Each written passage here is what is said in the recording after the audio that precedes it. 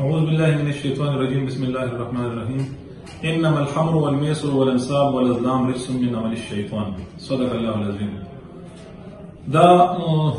ما چې کوم آیات تلاوت کو د دې مفهوم صدارنګ دی چې بشکا شراب جواری کوډې جادو دا چې کوم دینو شیطانی عمل دی زمونږه د ډي پی او عرفان الله سه د احکاماتو مطابق په چا صده کې د منشیات فروشانو او د جوارګرو خلاف چې کوم دینو یو زبردست کمپین شروع دی په دغه سلسله کې په مورخه 8 12 2019 باندې چې اصل د پولیس ته اطلاع وا چې موټر کار نمبر ال ای 4596 په دې کې چرستی او د پیښور غاړې دا روان دی په دغه اطلاع باندې چې کوم دی نو پولیس د اس ایچ او صاحب جوهر شیر او فلک نیاز خان په موجودګۍ کې په صدریاب کې ناکبندي وکړه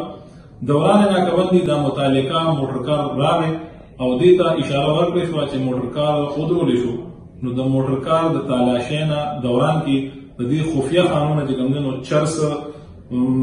چې کله هغه وترل شو نو 2170 ګرام برآمد شو